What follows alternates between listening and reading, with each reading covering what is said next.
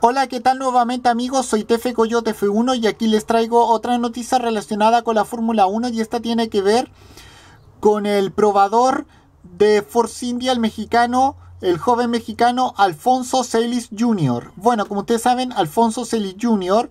volverá a subirse al, al VJM09 del equipo Force India, los libres unos del Gran Premio de Italia, que se disputará este fin de semana en el circuito de Monza sustituirá a su, a su compañero equipo, el titular eh, alemán Nico Hulkenberg, en esta sesión de entrenamientos.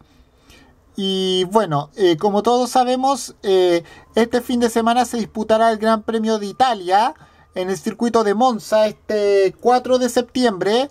Y bueno, le deseo suerte a Alfonso Celis Jr. para que tenga para que tenga un auto muy fiable. Y bueno, con esto me despido, nos vemos en otro video, adiós, que fuera, chao.